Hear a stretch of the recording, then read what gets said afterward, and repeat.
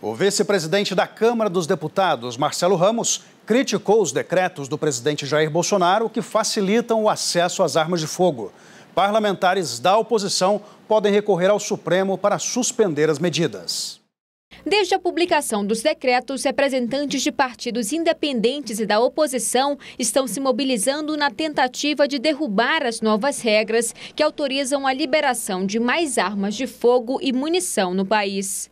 Com as mudanças, cada civil com registro poderá comprar até seis armas de fogo. Antes eram quatro. Já os chamados CACs, colecionadores, atiradores e caçadores, poderão ter, respectivamente, 10, 60 e 30 armas. Só acima desses limites será obrigatório o registro no Exército. Além disso, eles não precisarão mais de laudo psicológico emitido pela Polícia Federal. Uma declaração expedida por um clube de tiro, atestando que a pessoa é usuária regular de armas, será suficiente.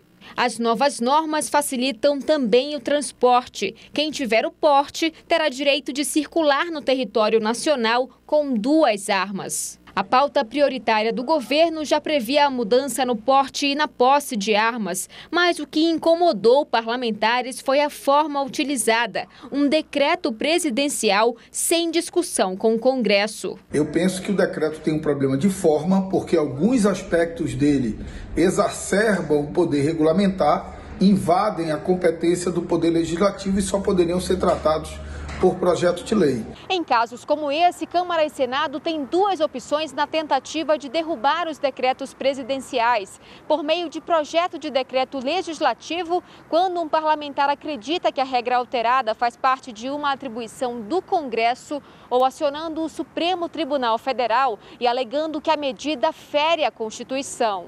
Fazer por decreto o aumento de até 60 armas para um indivíduo além de ser uma medida equivocada, ultrapassa os limites constitucionais. Esse é um debate que tem que ocorrer dentro do Congresso. Vai gerar um facilitador para que o cidadão de bem possa efetivamente exercer o seu sagrado direito à legítima defesa.